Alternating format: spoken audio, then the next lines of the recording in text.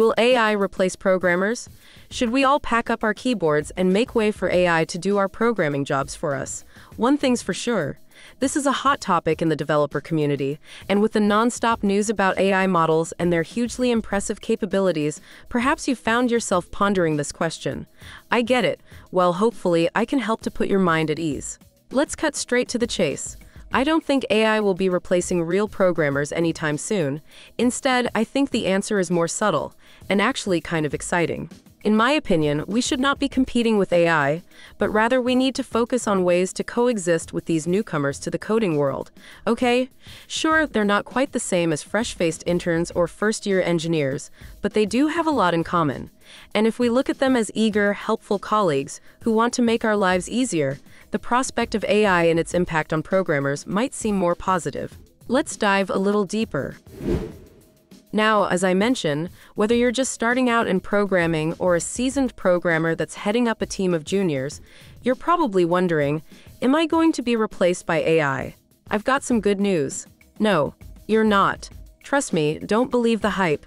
I know it seems like OpenAI's ChatGPT and other large language models can do just about everything we can, but there's much more to this than you might think.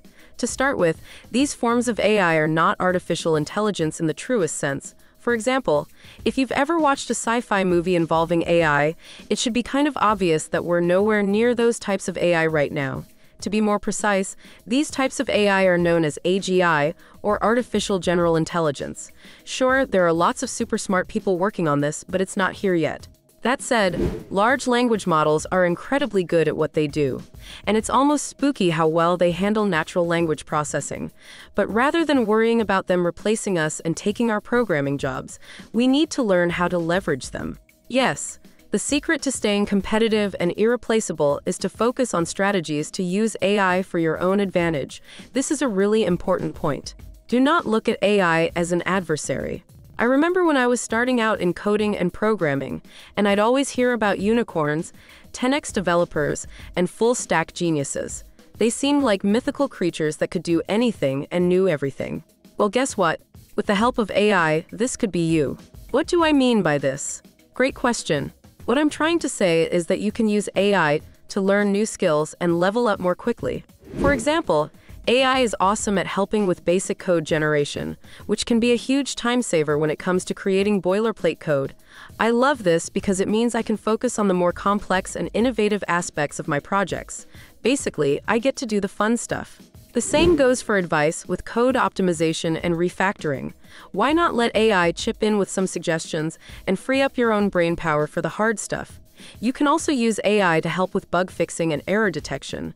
However, I will admit that I'm still not 100% sold on this aspect, as I've always enjoyed the process of figuring out a bug and fixing it.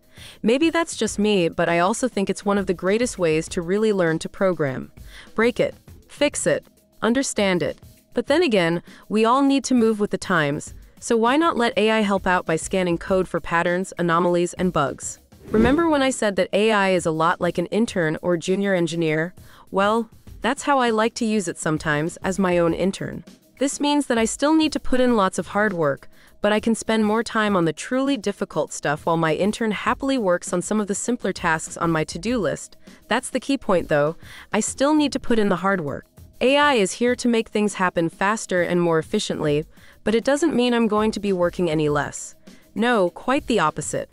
I plan to work on even more challenging projects by pushing my own boundaries and getting involved at all levels of the tech stack. How else can I reach that mythical unicorn status? This is my advice for you.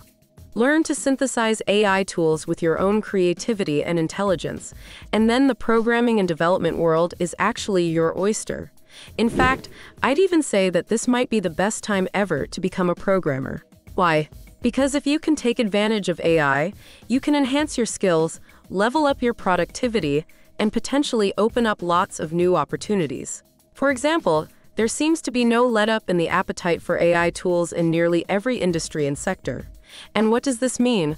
Well, it means a huge demand for developers who understand and can work with AI, whether this is using APIs to create AI tools or the nascent and flourishing field of prompt engineering, the demand is there. You just need to look for it. So I'd say, don't worry about fewer jobs, but focus on how to ride the AI wave rather than worrying about the waves crashing on your head. I know it can be intimidating to make changes, especially if you've been programming for a long time and you enjoy the way things are. But this is tech, and nothing is ever stationary for long. Just ask BlackBerry if you don't believe me. So, my advice is to get excited and make the effort to evolve your programming skills to work with AI. You can even use AI to help you learn about AI, which is kind of weird but also kind of cool. Of course, as always, DYOR and do your own research, as AI is not infallible and in fact it can often be wrong. So, what's the TLDR? Great question. For me, you should not be worried about AI replacing you. You just need to be willing to learn how to use it to make yourself a more valuable programmer.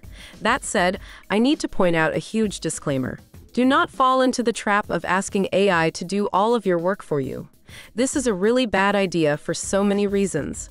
I won't go into too much detail now, but you need to be aware of the main limitations of using AI for programming. For starters, AI can produce bad code that's inefficient, insecure, or inaccurate. You then need to factor in the fact that AI lacks the ability to innovate, as it can only relate to the coding patterns it's ingested during its training. There's also the issue that AI cannot really understand context or nuance, so when the time comes to discuss user needs or business goals, you need to be in the room, not the AI. You see, AI is very good at certain things, but it's nowhere near ready to replace truly skilled human programmers. There's no doubt that 2023 has been a banner year for AI. Just look at the stats, and you'll see over 75% of developers favor AI tools, and more than 40% are already using them daily. But how big of a risk is AI to the humble human programmer? And are we going to be replaced? I don't think so, at least not anytime soon. For now, AI has made it an even more exciting time to be a programmer. And if you're up for the challenge, it's the perfect time to take your skills to the next level by working with AI rather than against it. What do you think? Will AI be replacing programmers? Let me know in the comments below. Oh, one more fun fact before I sign off for this video. The audio for this video was actually generated using AI. Could you tell? Feel free to use the comments below to let us know what you think of this format. Thanks for watching this video. Be sure to subscribe and turn on notifications to be the first to know when we release new videos.